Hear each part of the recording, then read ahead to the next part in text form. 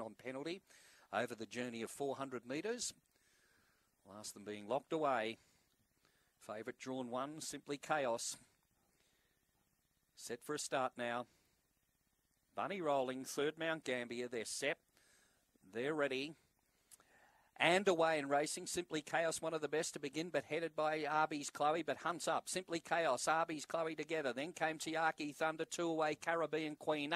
Last pair of St. Ollie and Granite Belt off the back, and the favourite now clears out. Four in front, Simply Chaos. In second placing, Arby's Chloe. Then came Tiaki Thunder, but up the straight, it's all Simply Chaos, and Simply Chaos scores by five. Arby's Chloe got second.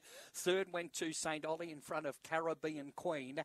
Uh, then in behind them to pull up with Granite belt, it was back towards the rear of the field there with uh, last in Tiaki Thunder. Stand by for placings, 23 and 20 of the time here.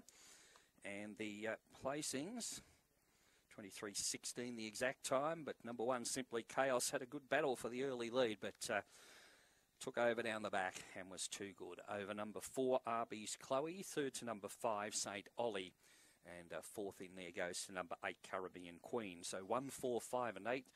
The uh, time in the race was 23 and 16. This greyhound simply chaos. Now makes it career win number two from 17 starts and scores by three and a quarter lengths with two and three quarters between second and third. And repeating uh, 23 16. First split 10 95 there. Recorded by Simply Chaos.